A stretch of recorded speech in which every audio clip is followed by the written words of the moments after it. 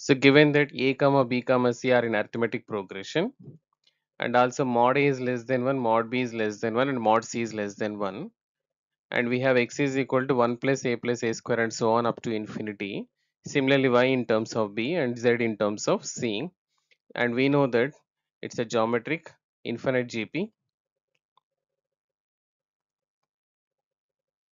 x y z we can say they are infinite GP sum and we know sum to infinity is a upon 1 minus r where r is mod r is less than 1 so here r is equal to a and mod a is less than 1 and here r is equal to b and mod b is less than 1 and here r is equal to c and mod c is less than 1 so we can write x is equal to 1 upon 1 minus a. And y is equal to 1 upon 1 minus b and z is equal to 1 upon 1 minus c. Since a is equal to first term is 1 and common ratio is uh, a. Similarly, first term is 1, common ratio is b in second. Similarly, third.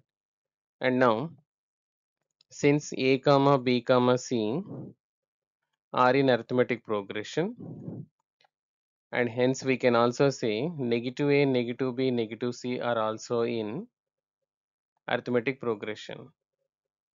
Or even if you add one constant term 1 minus a 1 minus b 1 minus c are also in arithmetic progression by the properties.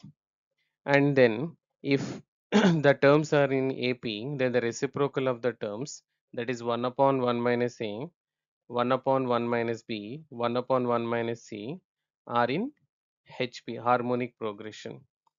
Harmonic progression is the progression where if A, B, C are in AP, then 1 upon A, 1 upon B, 1 upon C are in HP, harmonic progression. And hence we can say here, this is X, Y, Z are in harmonic progression, HP. So we can go with an option C.